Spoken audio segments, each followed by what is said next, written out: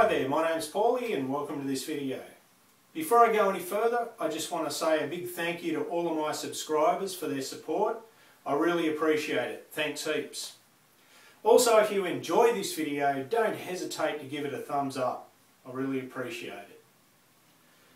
So, today we're going to have a look at the differences between fuzz, overdrive, solid state distortion and tube-based distortion. So the way we're going to do this is we're going to feed a sine wave into each of the effects and then look at the result on an oscilloscope. Also we're going to do a spectrum analysis of each of the effects and just see what extra harmonics appear in there that are actually contributing to the sound that we hear as the end result. Also I'm going to give a brief demo with a guitar of each effect so we can hear what it sounds like. So the very first pedal we're going to have a look at is a fuzz pedal that I built myself and it's based on a fuzz face circuit. The next pedal we're going to have a look at is this Maxon OD 808 which is going to be our overdrive pedal. The very next cab off the rink's going to be this Boss DS1 and it's going to be our solid state distortion pedal.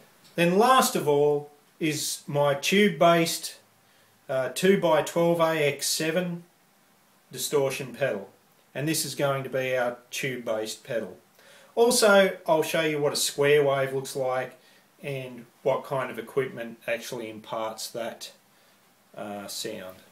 So I'm going to use this laptop as our signal generator and hopefully produce a pitch of about 440 Hertz which is around an A note. Okay, so we have the oscilloscope running. Let's turn our signal generator on. And we should have a nice clean sine wave up on there. And you should be able to hear a smooth sounding hum in the background. Let's check out the uh, spectrum analysis of it. And all we have is this one bar poking up here. And the main frequency of it is 439.99 Hertz. So it's almost very, very close to the pitch of A. So let's turn our fuzz pedal on and we can see how the waveform has changed. It almost looks like pulse width modulation.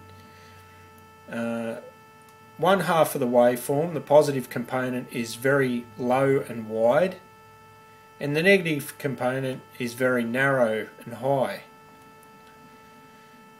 So this produces a pulsy kind of sound and an almost digital or synthy kind of sound from our fuzz. So let's turn the input signal down to the fuzz pedal and see what that does for us. So we can get back to a sine wave and as we slowly turn the input signal up we'll notice that it begins to clip on one side more than the other. This is called asymmetric clipping. Fuzz pedals do this uh, quite well.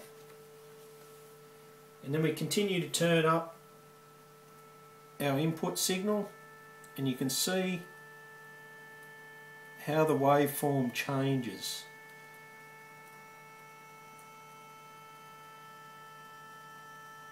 And becomes that pulsy kind of synthy sound that is uh, fuzz. So let's check out the spectrum analysis of that. And as you can see, we have our fundamental still there, but we also have second, third, fourth, fifth harmonic there. The sixth seems to be almost non-existent. And seventh, eighth, ninth, and so on and so forth all appear there. So a fuzz adds a lot of extra harmonic content to our sound. Another thing with fuzz, they react very dynamically to changes in volume and also tone. And what I'll do is I'll turn the input volume down so we can see how our harmonic content changes. You'll notice that that sixth is now coming up and the fifth is going down.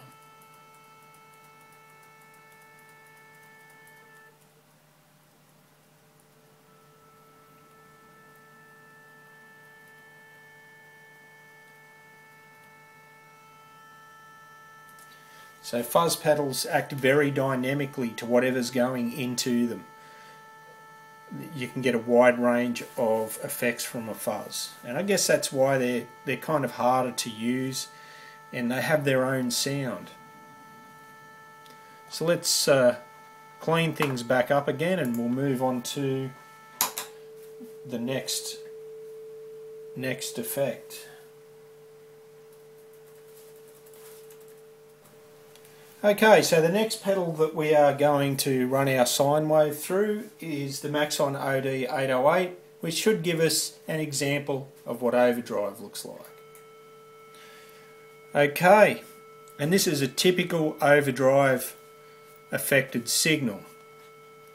Uh, it's symmetrical, as in the bottom half of the of the wave is exactly the same as the top half, and it is soft clipped which means when it when it distorts it actually rounds the edges off. It doesn't actually just cut them off like a square wave or produce sharp edges as, as extra artifacts. So let's see how that that waveform comes about. I'll just turn the drive all the way down and maybe some of our input signal and here we pretty much have our sine wave. So I'll slowly turn the drive up and you should see it's just starting to clip there, just gently. And As we turn it up further it becomes a little bit more aggressive. So that suggests that an overdrive pedal will let a little bit more of our original sound through than what a fuzz will generally and has a more transparent sound when the effect's in, in full swing. Let's check the spectrum analysis. So what we've got here is all odd order harmonics. So it completely misses the second harmonic and we get a third completely misses the fourth, we get a fifth, and so on, slowly de degenerating down to nil as we get up towards 10 kilohertz. Now let's see what happens as we turn the drive down. We just see those odd order harmonics drop down. We'll turn it down a little further. And we basically get to a a clean signal. And as we turn it up, those harmonics start to appear again. Okay, so let's clean it up and move on to the distortion pedal. Okay, so I'll kick this DS1 in and you can see that it's altered the waveform quite dramatically. We almost have what looks like a sawtooth pattern. And this is going to lend itself to quite an aggressive sound with these sharp edges. And uh, let's see what that looks like and how that waveform has actually come about. So we'll turn the distortion down. Looks like we need to go down a little further for it to clean up and here we pretty much have a clean sine wave. So I'll turn the distortion up slowly. And you can see that it just starts to clip these edges here. And this one is slightly asymmetric as well. The bottom one looks more distorted than the top. And this is because this pedal has been modified and is actually using an LED so I'd imagine that the LED is doing this here as uh, there is no other diode in the other side, it's just one LED. And this would be the op amp clipping up here. So let's turn everything back up again.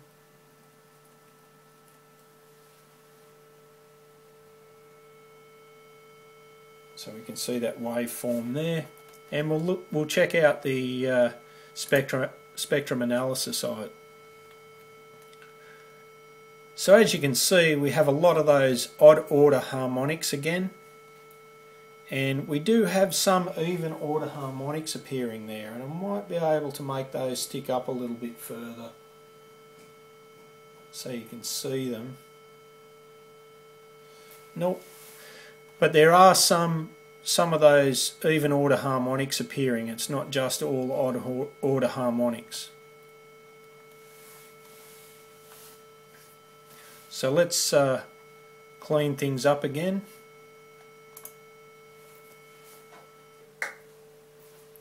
And move on to the tube-based distortion. Okay, so let's kick in the tube-based distortion pedal. So instantly we can see that there is soft clipping occurring there are no sharp edges as such. Although it's a little bit on the sharp side just here and just here on those uh, trailing edges. So uh, the characteristics of tube-based distortion are soft clipping and asymmetry and we have both of these here. If you look at the top of this waveform, the way it's clipping, and you compare that to its bottom counterpart, they're, they're actually a different shape. And that's asymmetric clipping and it's characteristic of tube-based circuits simply because it's difficult to make a tube react in a linear way, which is what transistors generally do the best. So let's turn the gain down a little and we'll see how that waveform comes about. Okay, so this is as clean as I can get this, and even with it clean, there is still a certain amount of distortion happening. The waveform's actually skewed, which is going to impart extra harmonics in there naturally that the tubes are just renowned for. You know, that's that's that tube sound or part of that tube sound. So let's check out the frequency analysis of all of this. Okay, you'll notice that instantly our second harmonic is there and we have a little third harmonic and just a touch of fourth. I don't know whether you'll see that through the camera. I'll turn the gain up and you'll see the way this thing reacts. So we've got our even order harmonics appearing here. And in years gone by, it's been said that even order harmonics uh, have an appeal to them to the human ear. So I'll continue to turn it up. I'll just show you where that waveform's up to actually. So that's when it's clipping reasonably hard as we continue to turn it up, you'll notice that those even order harmonics start to drop down and the odd ones start to come up. If we go back to the scope, that's that's derived from that shape. Okay, so we'll clean things up again and I've got one more thing I want to show you.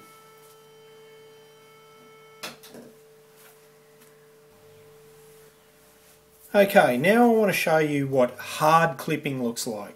Hard clipping is characteristic of the kinds of distortion you get when you overdrive the front end of a hi-fi system or something like that. So I, I just want to show you what the difference between that and your distortion pedal is, or, or a tube circuit for that matter. So we have our sine wave and basically I'm going to turn this up until we basically overdrive the front end of the computer's sound card.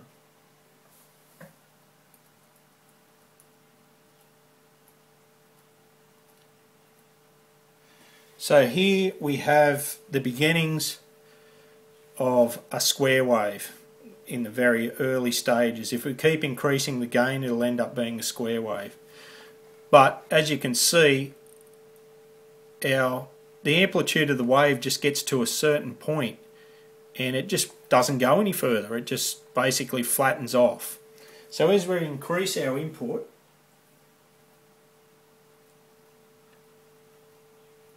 it just continues to square off and eventually we end up with a square wave or very nearly a square wave. That's what a square wave looks like and that's how it comes about. It's basically hard clipping. Here is okay. the frequency analysis of the square wave. As you can see, it's all odd order harmonics. All the even order harmonics are suppressed and it's just the odds. Okay. So I'll get on with doing the guitar demo now so that we can hear each effect played with a guitar. Okay, I'm playing a Strat. We're on the middle pickup, which is a single coil, and I'll give you the clean sound first.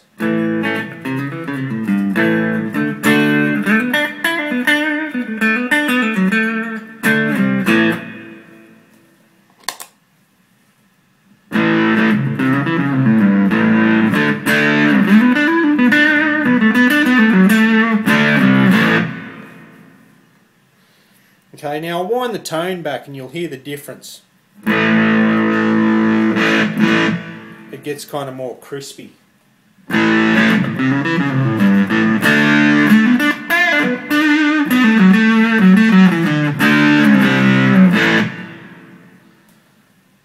Okay. Okay, next we have the OD 808.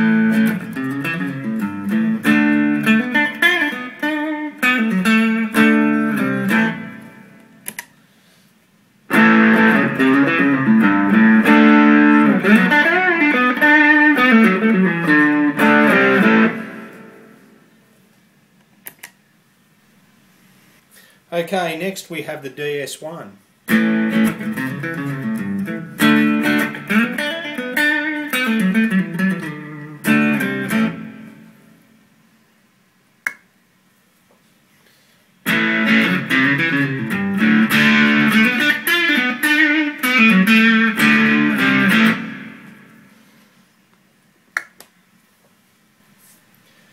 We have our tube based distortion pedal and I'll give you the bypass first again.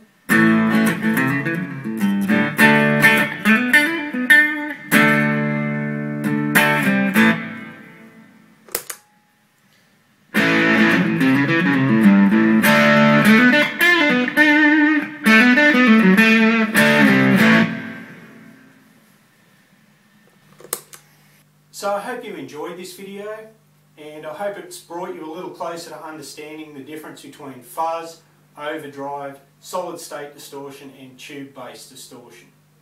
If you have any questions or comments please leave them in the comments section below and if you enjoyed the video please give me a thumbs up. Have a good day, I'll catch you later.